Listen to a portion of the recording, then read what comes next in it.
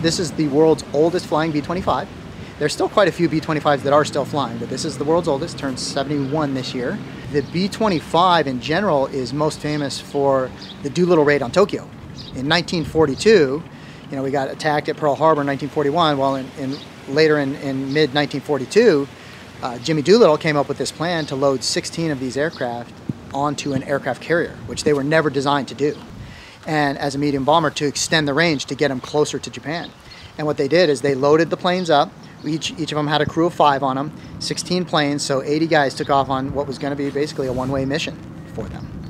And uh, they knew that they were not going to be able to come back.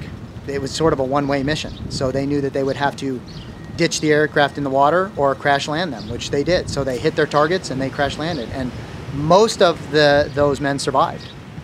Our foundation believes that by showing folks the airplanes of the period 1927 to 57, we can inspire by metaphor them in other fields of endeavor. It's not as if these kinds of planes will ever be the forefront of aviation again.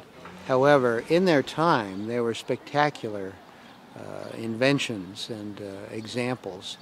And that appreciation, we hope, will inspire the young people not only to study the history, but to find a passion in some other endeavor. It also gives us a chance to honor the veterans. We've had uh, entire complements of six people that were World War II crew members from bombers.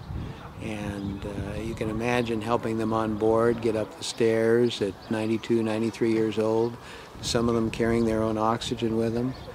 And uh, that's the uh, other part of the gratification, not just the young people, but the people who uh, flew these as young men and women.